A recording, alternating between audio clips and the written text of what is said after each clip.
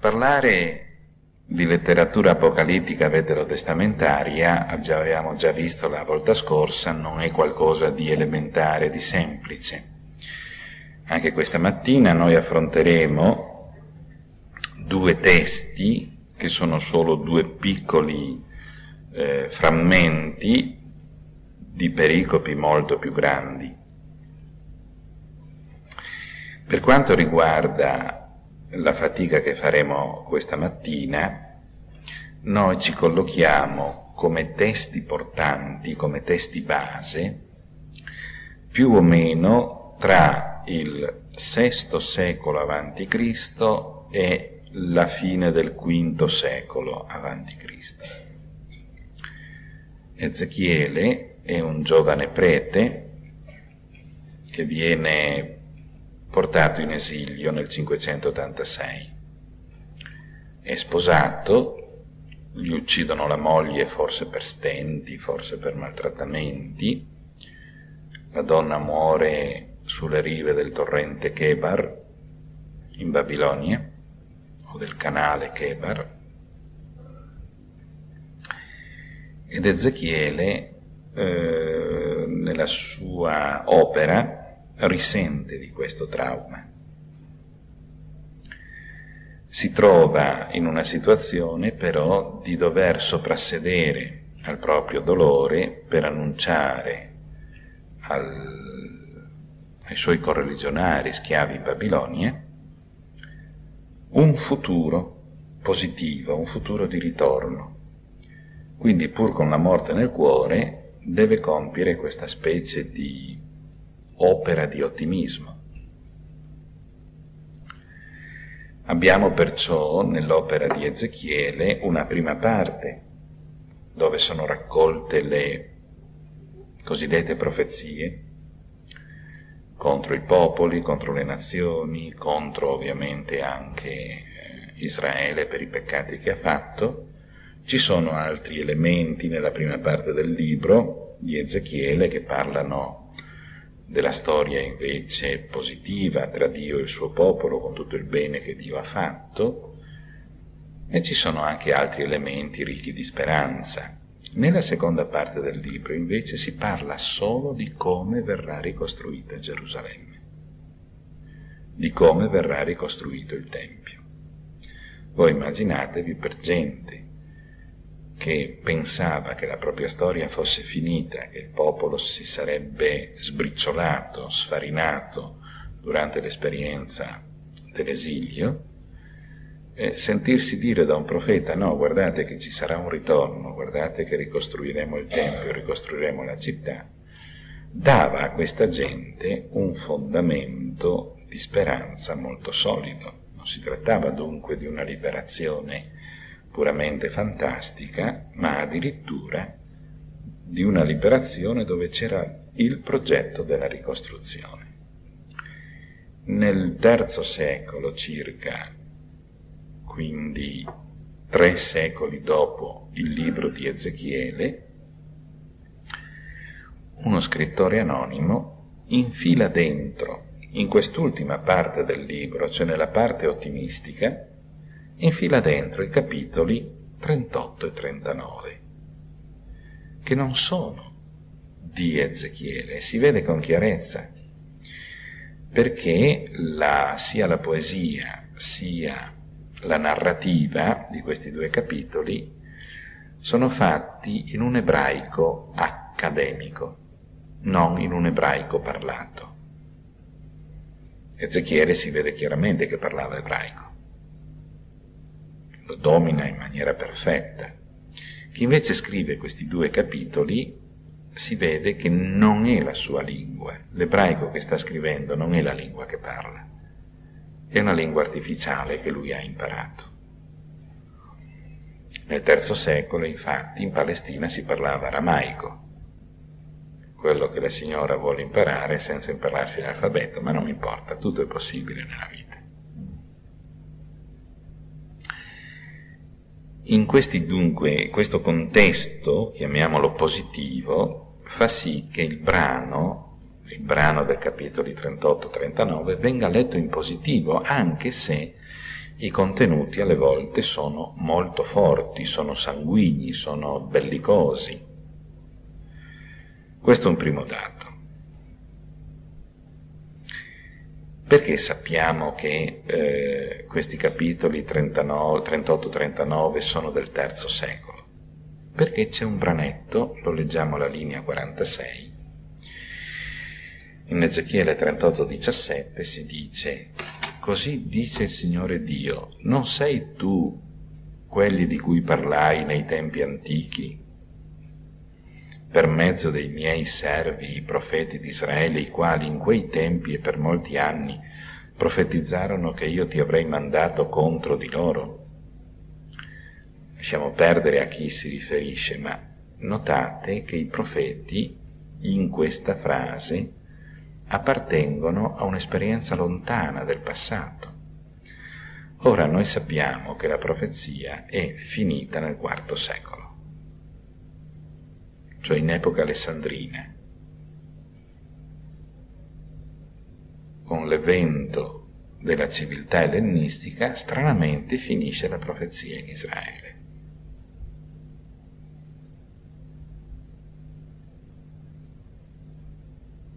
Ecco perché questo tizio,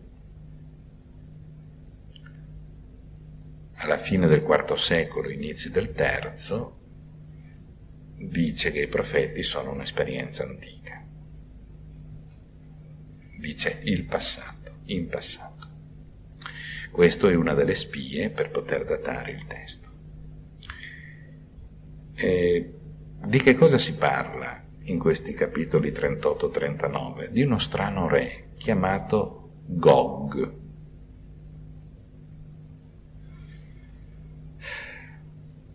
Il suo regno è composto con lo stesso nome più un mem privativo, che potrebbe anche essere di origine. Quindi il re Albania che viene dall'Albania. Come si chiama il suo regno? Dall'Albania. Gog, re di Magog. È la stessa cosa, è un gioco di parole. Non esiste questo regno. Non è mai esistito questo regno. Ma è la personificazione di tutte le forze del male. Infatti nel testo si dice che questo esercito di questo re è fatto da tutte le genti che abitano i quattro punti della terra, cioè da tutto l'universo. In Oriente dire i quattro punti vuol dire i quattro punti cardinali, che per l'ebreo era il deserto, il mare, la destra e la sinistra. Questi erano i quattro punti cardinali. Noi dopo traduciamo la sinistra e il nord, la destra e il sud, il deserto e l'ovest, il mare e l'est, perché l'ebreo, quando stabiliva questi punti cardinali, questi erano i nomi, metteva le spalle al Mediterraneo, guardava verso la Transgiordania, deserto, perciò il nord ce l'ha a sinistra e il sud ce l'ha a destra. Con questa dicitura l'ebreo intende dire i quattro punti cardinali, dunque tutto il mondo, tutto il mondo conosciuto. E questo re ha raccolto tutte le forze di tutto il mondo conosciuto per invadere la Palestina di questi poveri disgraziati che erano appena ritornati dall'esilio. In quale situazione si trovavano questi mm, ebrei appena ritornati dall'esilio nell'ottica di Ezechiele? Erano senza armi e di fatto sarà così.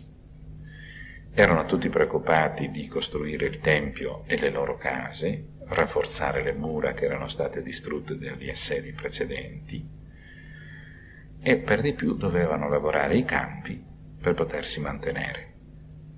Fatti eh, i libri di Esdra e di Neemia ci dicono che gli ebrei lavoravano con le armi al fianco. Avevano, mentre seminavano il frumento, avevano la spada al fianco. Mentre costruivano le mura, le case, il tempio, avevano la spada al fianco. Non è cambiato niente.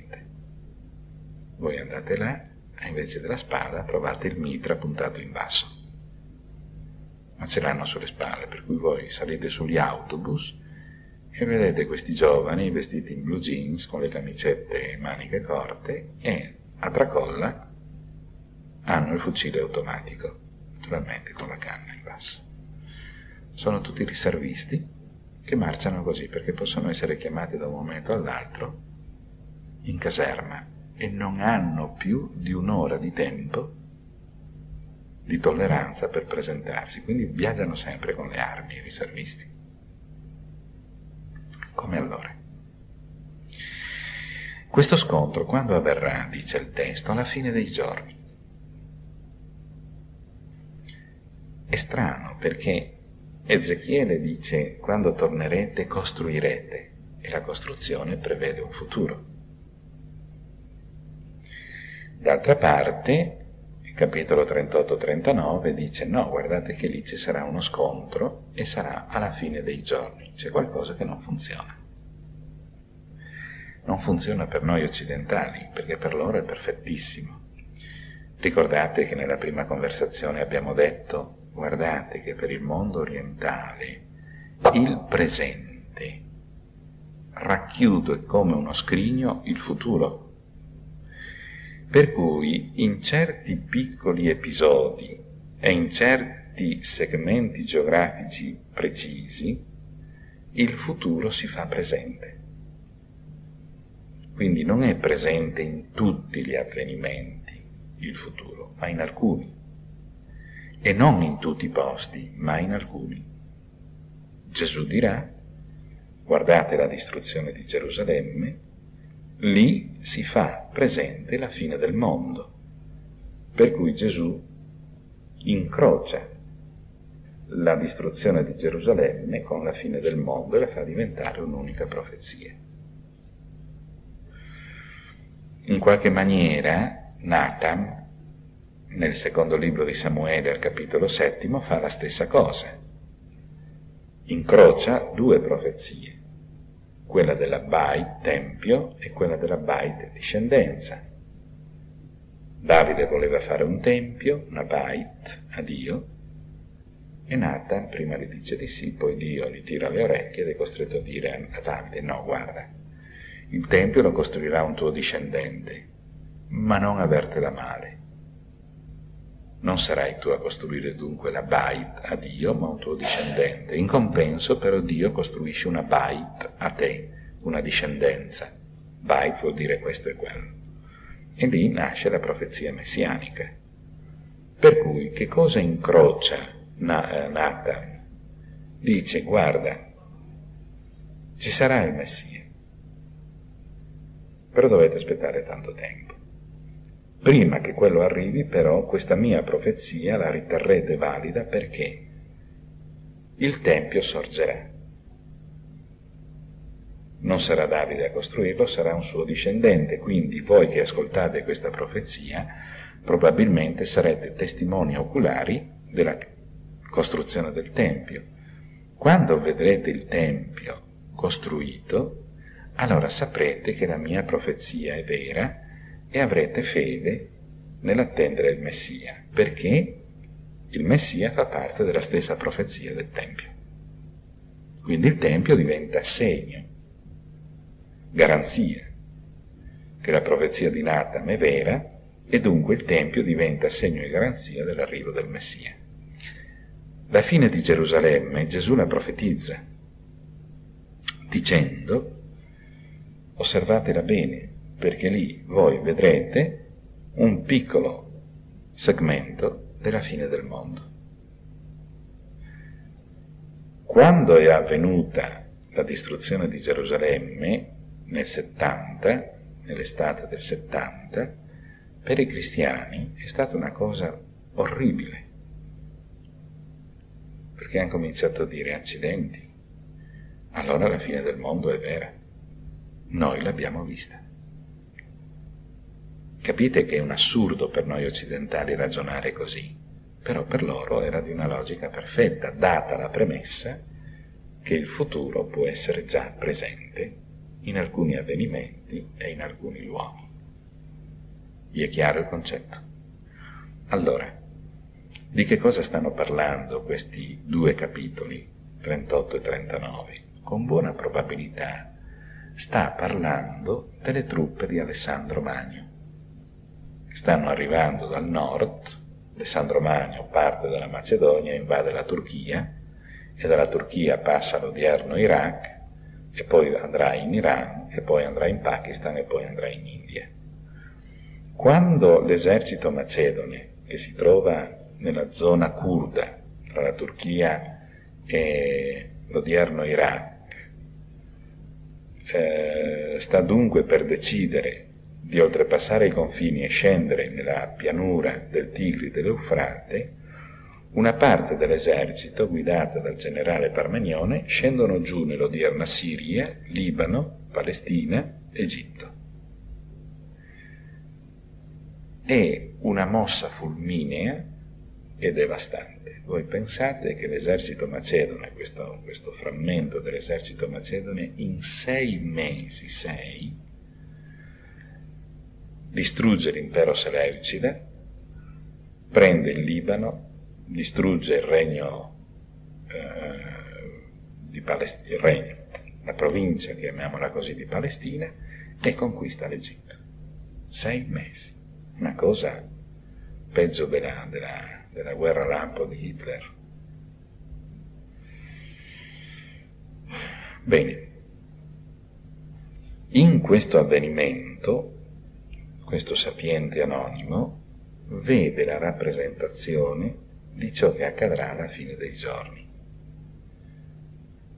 Come Gesù vede nella distruzione di Gerusalemme ciò che accadrà nella fine dei giorni.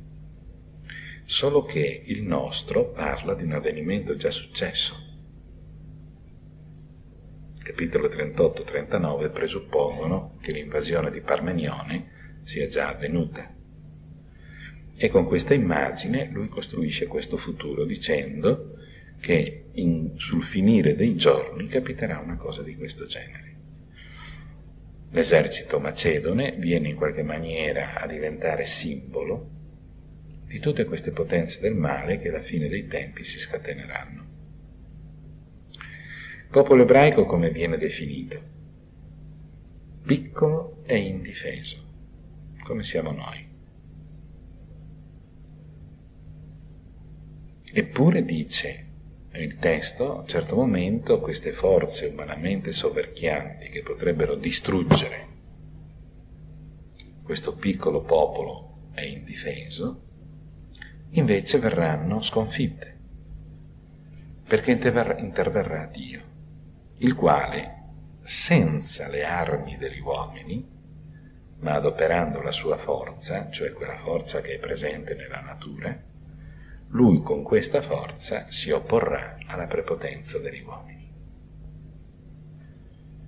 Questo strano re verrà sconfitto e il nostro autore vede una specie di enorme campo di battaglia pieno di cadaveri e Dio che dice agli animali buon appetito. È una descrizione orripilante di questa specie di macelleria umana dove gli animali faranno un banchetto con le carni dei morti. Non è bello leggersene, non è bello leggersene. La conclusione è questa, eh, che Dio manifesta la sua potenza lì dove si manifesta la debolezza dell'uomo. E dunque l'uomo non deve aver paura della propria debolezza non deve essere angosciato perché è fragile, perché è peccatore, perché eh, è limitato. Perché lì dove si esprime questa dimensione dell'uomo, si esprime anche la grandezza di Dio. Se voi avete un po' di familiarità con il testo di Paolo,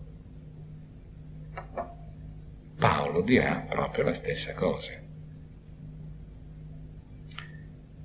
Che Dio manifesta proprio la sua grazia lì dove si manifesta il peccato.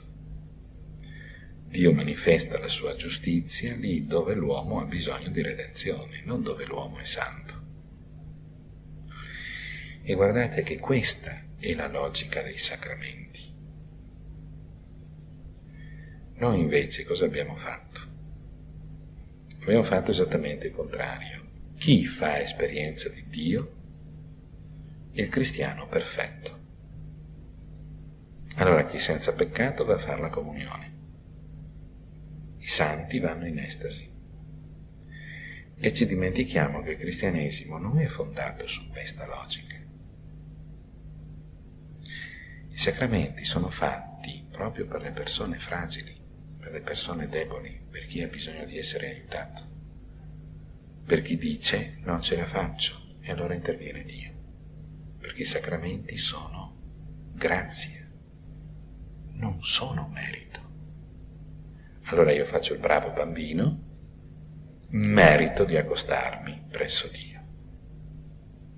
No, i sacramenti invece sono per quelli che dicono, senti, io sono un povero Cristo, o mi dai una mano, o io non ce la faccio ad essere persona corretta, ad essere persona che ha dei rapporti eh, positivi con gli altri e con se stesso. Capite allora che dentro a questa logica certe forme, sia moralistiche, sia giuridiche, che la Chiesa oggi adopera, non sono conformi a quello che è invece lo spirito del cristianesimo.